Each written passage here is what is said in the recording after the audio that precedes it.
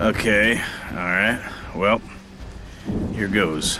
Um, oh man, gotta get this thing moving. Let's see here. Um, evil, uh, Dear evil, messed up demon powers of darkness, uh, and unimaginable evil. Please transport me off this awesome corpse pile. I am but a visitor in your strange world, which some would call hellish, but I have to admit, it's kind of badass. Oh, lords of gross leather things and S&M type wear. You know you guys really have style. That battle nun, she was hot. Uh, sorry about killing her. Uh, but you're evil though, right? So we're cool. I didn't even know I could do that with an axe. I have no idea why my good. By your good graces. Uh-oh. Ah, I meant evil!